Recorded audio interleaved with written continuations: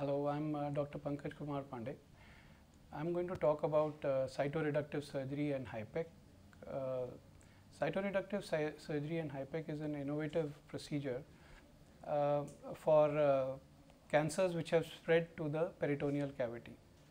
Now, earlier uh, cancers of the abdominal organs which had spread and confined to the abdominal cavity these patients would uh, normally be given chemotherapy and uh, have a dismal survival of approximately 6 months to 1 year to one and a half years.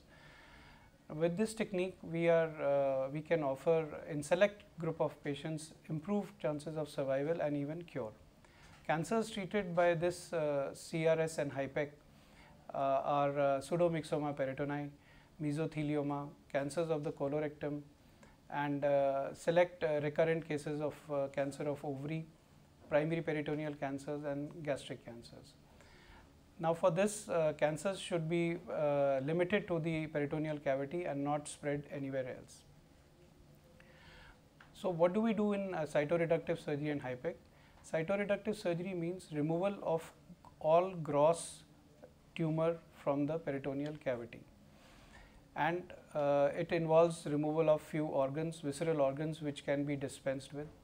And after we have removed all uh, gross disease, we instill heated chemotherapy or we start the procedure called HIPEC.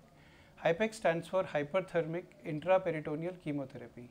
Here the heated chemotherapy is given through the machine for about 1 hour to 90 minutes. We heat the chemotherapy solution so that it helps to kill the remaining cancer cells and also helps to uh, the chemotherapy to pe penetrate the uh, tumor nodules which are remaining. After this, uh, this surgery can take up to 6 to 11 hours and sometimes more. So, it is a complex surgery and uh, has been named as mother of all surgeries. After uh, the procedure, the patient is shifted to ICU where he stays for about a week to 10 days and, uh, uh, and subsequently for another week the patient would be in hospital for proper recovery.